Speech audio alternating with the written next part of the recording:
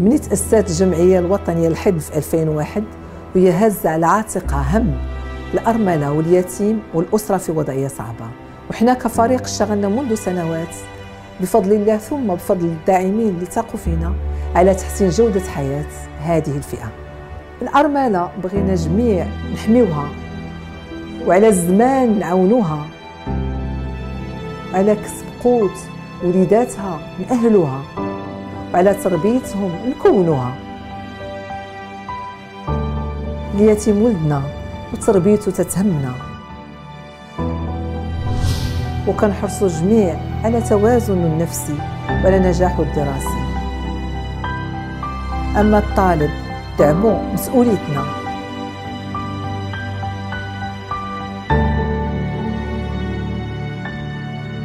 مستقبله وتفوقه غايتنا.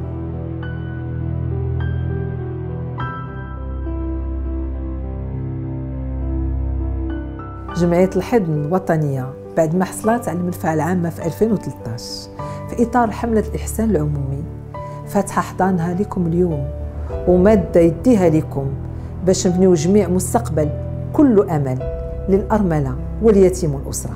المؤسسة تجمع كل مشاريعنا وتحسن من جودة خدماتنا والعطاء كله سعادة.